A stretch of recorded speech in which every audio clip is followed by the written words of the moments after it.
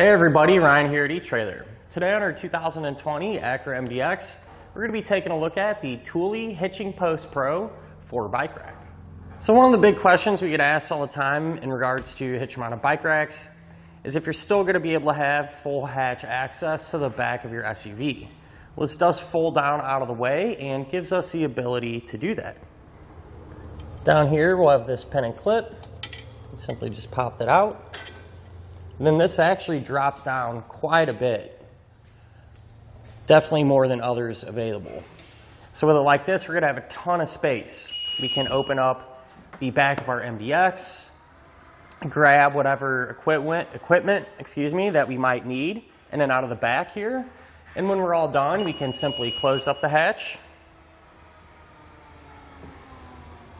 raise our rack back into position, and reinstall that pin and clip.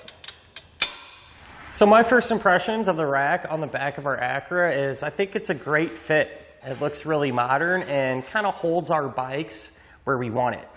It's going to be a little bit further away from the back of our car and it's going to hold it height-wise about in that sweet spot, at least I would think. It's going to keep our bike up off the ground but not so high that it's really going to block or obstruct our view whenever we're looking into our rear view mirror.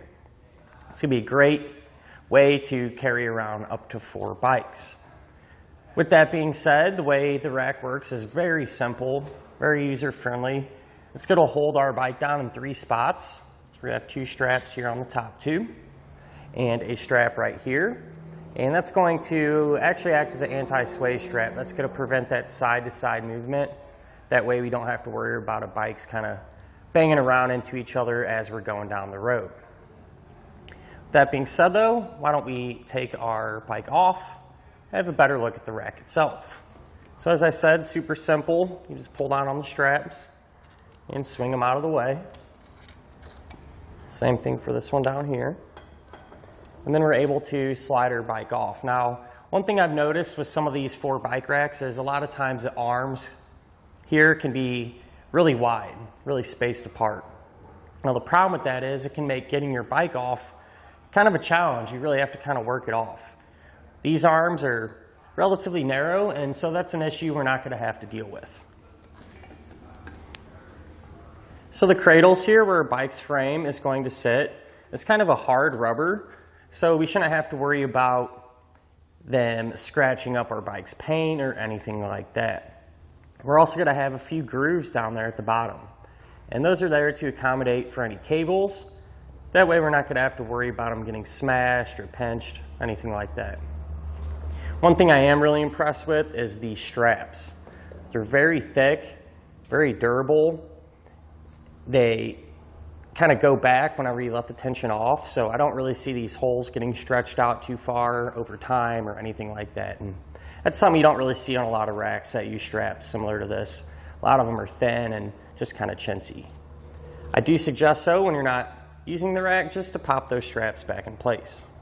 Being that this is a four bike rack, it is going to take up a little bit of space here on the back of your MDX. And to find out exactly how much, if I measure from our hatch to the very edge. Looks like it's going to be right about 43 inches. So something you definitely want to keep in mind whenever you're swinging into your garage or maybe even a tight parking spot. Now, the arms do fold down to free up some space. And if you come here to this pin and clip, you can just simply pull that out, swing the arms down, and you're going to want to reinstall that pin and clip if you do plan on traveling with it in this position. But as you can see now, freed up quite a bit of room back here. Pretty compact actually. So I'll take that same measurement. And in this position, it's only going to be about 22 and a half inches. So with it like this, really don't see it giving you any issues when you do go to pull into your garage or even that tight spot.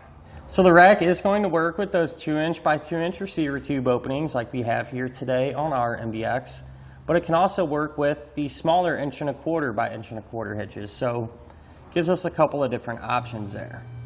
And It is going to come included with a anti-rattle bolt, and what that's going to do is eliminate any slop or play here in the connection point. That's really going to do a couple of things. It's going to keep the ride inside of your MDX nice and quiet like it should be, and provide a little bit more of a smooth ride for your bikes as well.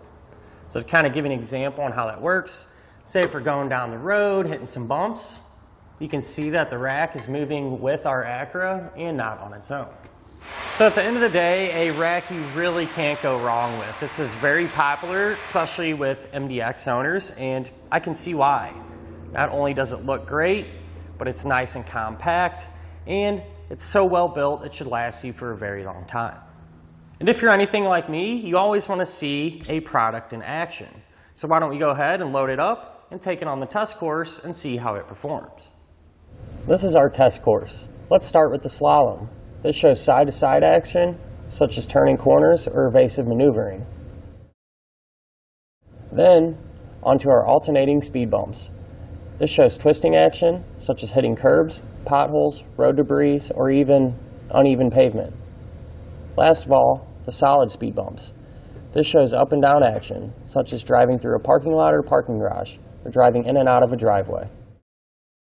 And that'll finish up our look at of the Thule Hitching Post Pro 4 bike rack on our 2020 Acura MDX.